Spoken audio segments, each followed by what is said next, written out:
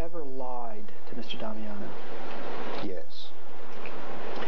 And can you list for me the times that you lied to him?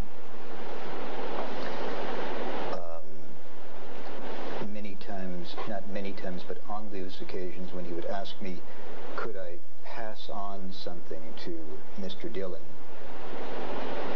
I may have said to him, I'll try and pass it along, or words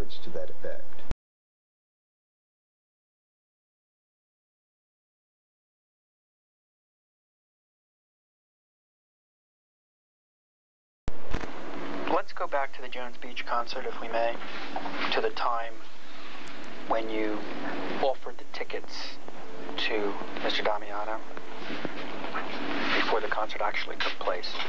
Okay.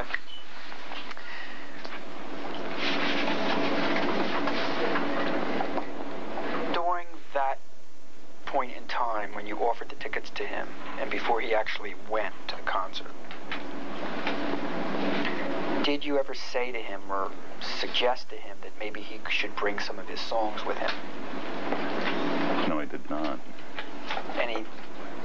Right. Do you deny saying that, or is it you just don't recall one way or the other? I deny suggesting to Jim that he bring songs along with him. I, ha- I did, however, concur with him when he asked me, do you think I should bring my songs with me? Sure, why not? What could it hurt?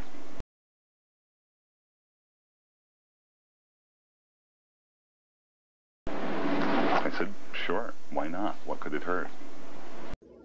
In 1996, James Damiano posted the findings of his lawsuit against Bob Dylan on the internet and received over 8 million hits. It was at this time that Bob Dylan's musical works were called into question and the origin of his song started to be scrutinized by critics.